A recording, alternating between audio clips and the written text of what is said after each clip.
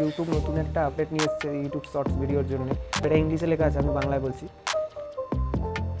YouTube shorts fund হলো shorts দিয়ে ক্রিয়েটাররা কীভাবে অর্থ উপার্জন করে, তা সমর্থন করার জন্য আমাদের প্রথম পদক্ষেপ ছিল এবং গত আট মাসে আমরা হাজার হাজার ক্রিয়েটারের অর্থ প্রদান করেছি।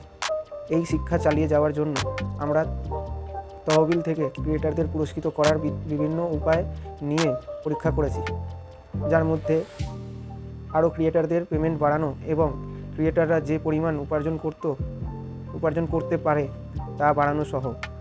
কিছু নির্মিতা যারা আগে সহযোগিতা অর্জন করেনি, তারা এখন একশো ডলারের নিচে বোনাস পেতে পারেন এবং অন্যান্য নির্মিতারা আগের সর্বোচ্চ দশ হাজার ডলারের বেশি বোনাস দেখতে শুরু করতে পারেন।